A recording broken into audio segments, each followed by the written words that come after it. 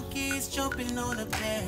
One fell off and bumped his head. Mama called the doctor and the doctor said, No more monkeys jumping on the bed. Four little monkeys jumping on the bed.